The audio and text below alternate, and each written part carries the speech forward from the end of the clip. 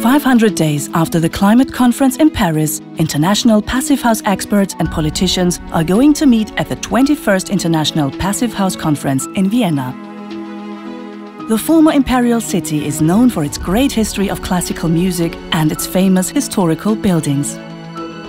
But today, Vienna is also a leading city in sustainable construction half a million square meters built in Passive House standard save 70 million kilowatt hours every year and offer the highest comfort for its inhabitants.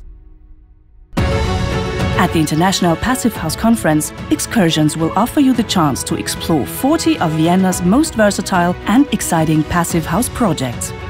Experts from all around the world show successful projects such as retrofits, residential and non-residential buildings and for the first time, passive house high-rise buildings. The presentations will provide expertise for a sustainable future.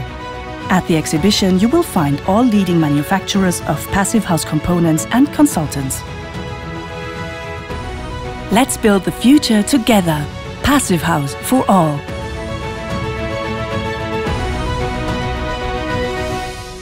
Join the 21st International Passive House Conference for the first time in Vienna.